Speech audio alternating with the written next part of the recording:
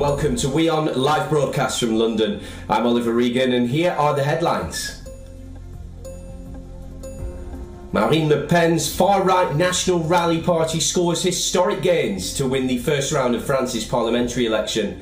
However, final outcome to depend on days of alliance building before next week's runoff vote.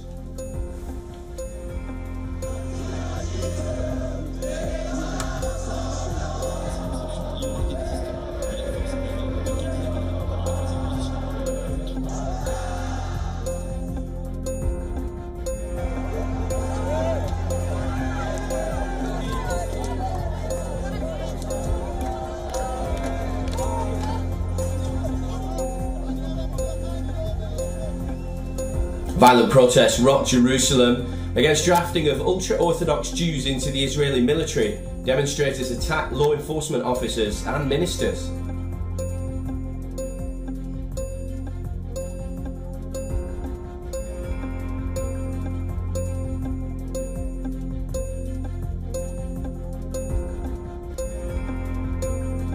Israel's Ministerial Committee for General Security Service Affairs votes to grant another year of Shin Bet security coverage to Prime Minister Benjamin Netanyahu's wife, Sarah Netanyahu, and their two sons, Avner and Yair.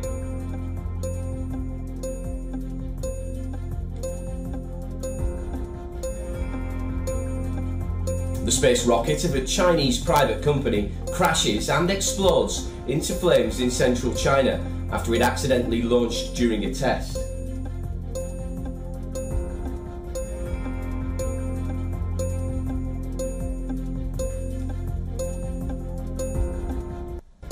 US based Space Exploration and Research Agency announces India as partner country in its human spaceflight program, project to see six citizen astronauts from across the world launched into space.